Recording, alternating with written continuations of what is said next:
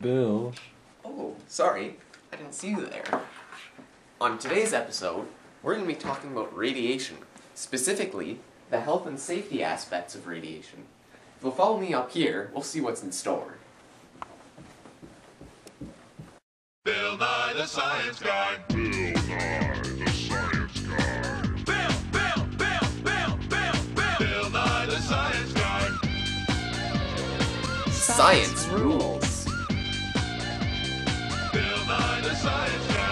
Inertia is a property of matter.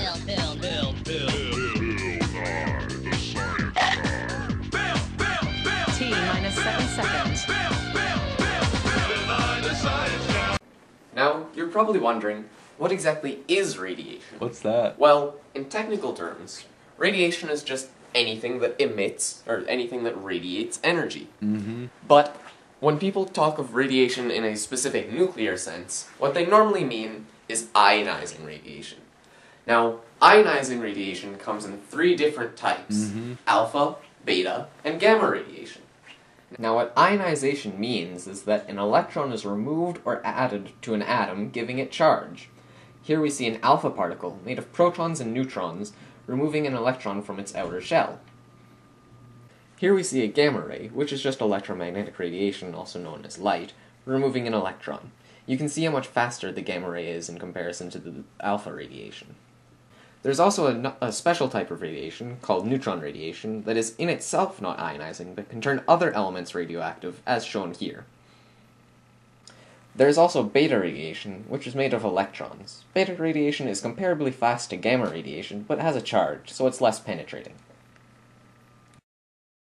So then once radiation passes through the human body and has ionized some of the atoms inside of it, what happens is the ionized atoms inside of the cells will start damaging the DNA.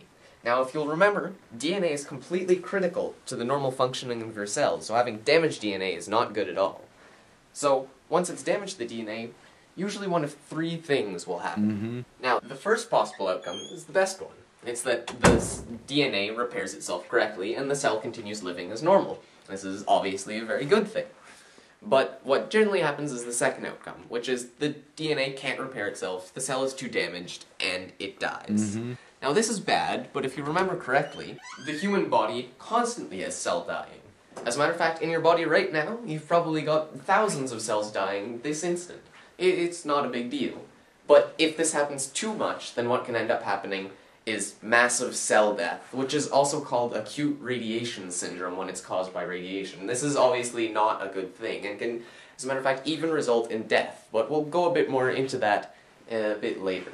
Now, the third outcome, on the other hand, is a little more complex. This one, it's when the DNA repairs itself incorrectly. And sometimes that just results in the cell dying a bit early, sometimes it just results in absolutely nothing. The DNA has got plenty of useless information that it can do without. But then it can also result in complications, such as cancer, for example, which is definitely not good. So, that's why people tend to think that radiation can cause cancer, because it increases the rate of cell mutations, which increases the chance of cancer. Did you know that you can get radiation from just eating a banana? Or taking a plane ride? Or living in a cement or brick house for more than a year?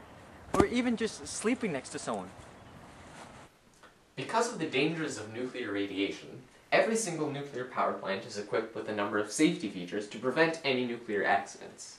The two most important safety features are the uh, emergency cooling system and the containment What's that? system. A containment system is just a large concrete cylinder that contains the reactor. It's put in place so that if any abnormality in the reactor is detected, then no radiation will be able to escape from it. Mm-hmm. Now, an emergency cooling system is just something to put in place to cool the reactor after it's been shut down. Because once the reactor is shut down, the uh, fuel rods don't immediately stop reacting. They continue going for a little bit, and you don't want them to heat up and melt, causing a meltdown. So an emergency cooling system is in place to stop that. This program is brought to you by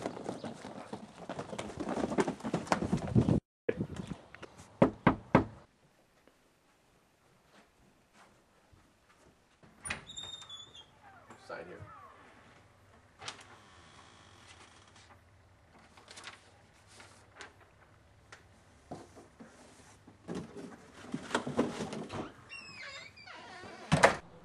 FedEx Ray, the people you can trust. FedEx Ray, always at your service. And we now bring you back to the Ray family.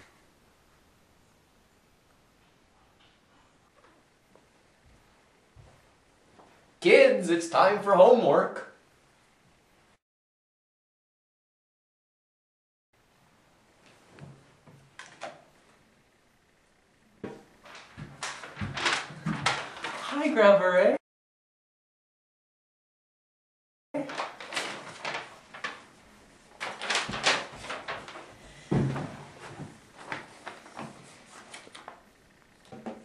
Where's your brother, Ralph Ray?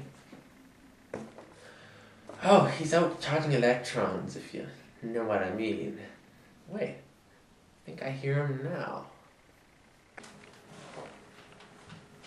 My bad. I was just ionizing some cells.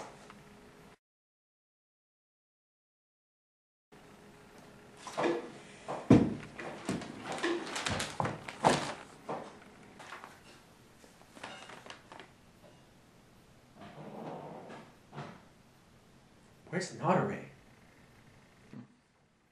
I've been here the entire time!